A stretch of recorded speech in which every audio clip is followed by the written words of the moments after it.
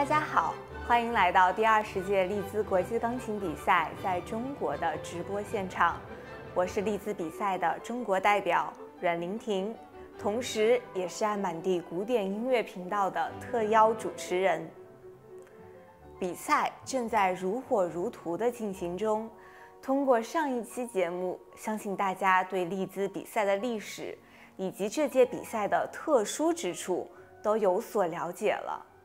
在直播中看到观众们提出的各种问题，比如在后疫情时代如何举办音乐比赛，评委们如何打分等等。我们再次邀请到利兹国际钢琴比赛的音乐总监，Adam Gatehouse 先生，为大家在线上答疑解惑。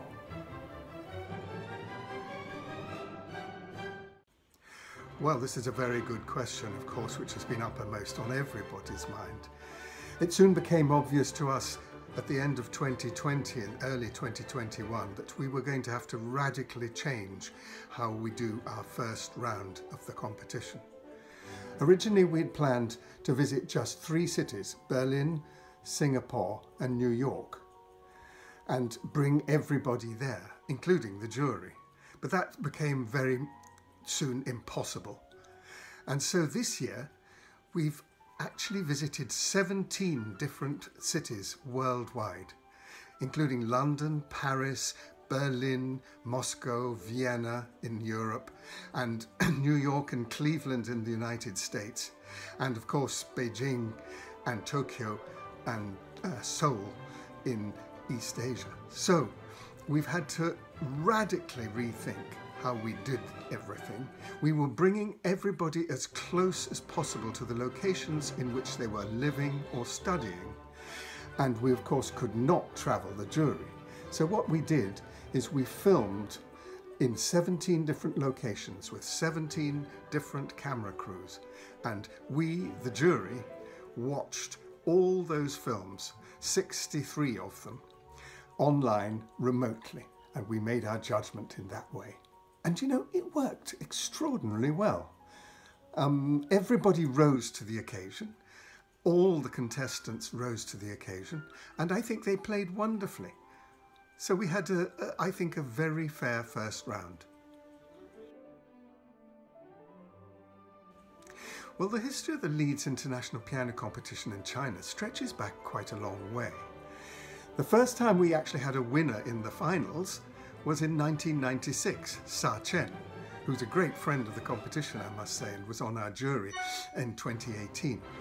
Um, and increasingly, the number of Chinese pianists who have applied and competed and got very far uh, um, has increased and increased.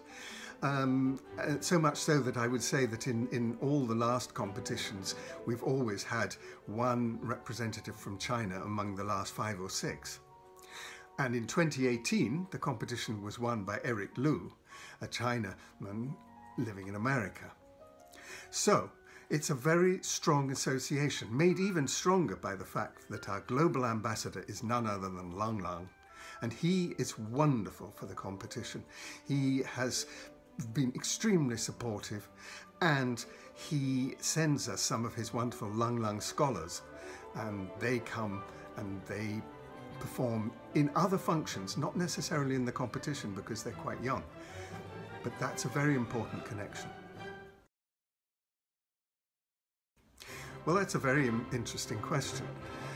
Uh, technique, of course, but technique for me is a given. All 63 competitors who came to the first round had phenomenal techniques. We're looking for something more than just that. We're looking for people who really can communicate people who have poetry and a soul and a heart and who dig deep into the inner meaning of the music, not just playing superficial notes, but really look deep into what the soul of that composer is trying to say and then can communicate it to their audience in a fresh and exciting way. People, in other words, who will make you sit up and listen. People often ask me that. How do you discuss and how do you come to conclusions? Well, the short answer to that is we don't discuss at all. There's a very strict rule with the jury for the Leeds no discussion. We don't discuss any of the competitors at all or any of their performances among ourselves, which is sometimes quite difficult because, you know, particularly if you've heard somebody wonderful, you want to come away and, and, and, and talk about it. But we are very, very strict about that. And it does mean that nobody can influence anybody else on the jury. And so it means that we all listen and then we vote. And we vote in secret and so nobody knows how the other person is voting. And that, I think, is a way we can be really fair.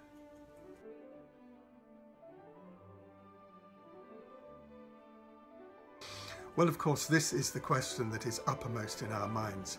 Of course, the whole performing arts has had a terrible blow in these last 18 months, with many organisations simply not able to uh, perform or, or function at all. And this has had a profound effect on those people who are the artists, who perform and who make their daily living from performing to audiences. And it's going to take a, quite a long time for those organisations to recover and also for audiences to gain in confidence. Now, how do I think this is going to affect the younger people? In some ways, I think that there's a fantastic resilience among the young because also they are crucially very technologically savvy, i.e., they know how to use modern tech, digital technologies in order to get themselves across. So they're streaming, they're doing a lot of online stuff, they know all the platforms. So of course, it's really, really difficult for young musicians not to be able to get out and perform to audiences. But I do think that the young generation in particular will really come through this and will have learnt a lot of new lessons on how to communicate, how to get through to the public in general.